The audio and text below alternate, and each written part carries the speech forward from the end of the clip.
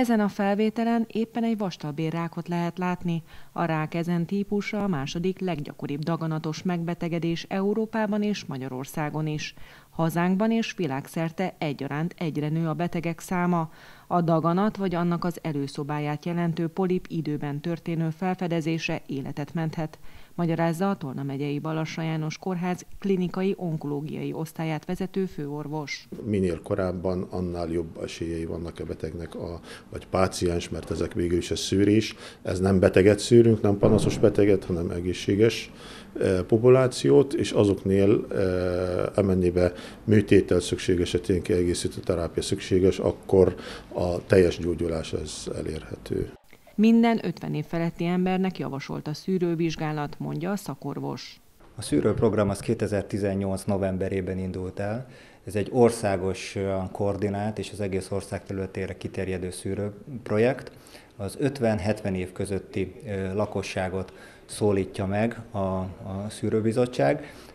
Egy behívó levél formájában kapnak értesítést, hogy a házi orvossát keresse fel az adott megszólított személy, és székletmintákat kell adni, amiből egy speciális vizsgálattal az emberi vér jelenlétét mutatják ki. Akinek a székletében vért találnak, annál elvégzik a vastagbél tükrözést. Erre a Balassa János kórházban kerítenek sort. Eddig 17 embert vizsgáltak meg, és egy páciens kivételével mindenkinél találtak elváltozást, mondja a szűrést végző Kovalcsik Zsolt belgyógyász tünetmentes emberekről van szó, akiket csak az életkoruk miatt szólít meg ez a vizsgálat. Ugyanis ebben az életkorban már olyan rizikóval fordulhat elő a vastagbéldaganat, még tünetmentesen, amit már érdemes keresni, mert fogunk találni. És hogyha korai stádiumba kerül a betegség felismerésre, akkor egy igen korai stádiumban akár endoszkópos eltávolítással, tehát a vastagbél tükrözés során az eltávolított rossz indulatú polippal gyakorlatilag meg lehet gyógyítani a beteget. Az onkológus azt mondja, a vastagbérek gyógyításában jelentős változások történtek az elmúlt időszakban, így bizonyos esetekben nem szükséges a kemoterápia.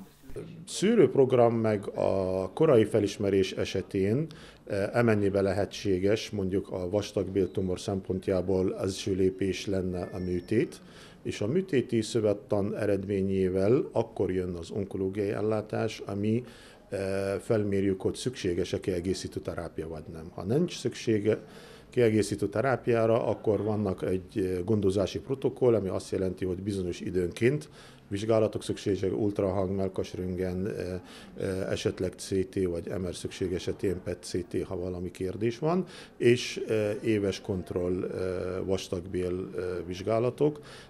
Ezek végül is az onkológiai gondozást jelentik. Csak a patológiai feldolgozás miatt nálunk a múlt eh, tíz évben a betegek közel 20%-a a jól feldolgozott patológia alapján 20%-a beteg mentesült a kemoterápiától. Úgy tudtuk megelőzni, hogy megvan adva, hogy mondjuk egy adott tumor nagysága mellett, hogy milyen eh, feltétel mellett nem szükséges kemoterápia. A feldolgozott nyirok csomó szám, ha azt mondjuk, hogy 12 fölött a feldolgozott is negatív, ez elfogadható. Ha nem dolgoznak föl 12 vagy annál több, akkor X-nek kell tekintenünk, és ez már is az egyik ok arra, hogy a beteg kapjon kemoterápiát. Vénás invázió, egyéb dolgok, ez egy 5-6 olyan jellemző van. Ha ezt a 6 jellemző egy bizonyos tumor nagyság mellett, ez a T3 mellett, ezek mind negatívak, akkor a betegnek nem kell kapnia kemoterápiát. Az elmúlt években nőtt a vastagbérákban elhunytak száma Tolna megyében a KSH elérhető adatai szerint, míg 2012-ben 83-an haltak meg vastagbérákban, addig 2016-ban 103-an, 2017-ben pedig 88-an. Az egész országban pedig 3269-en haltak bele ebbe a daganatos betegségbe két évvel ezelőtt, míg 2012-ben 3279-en hunytak el.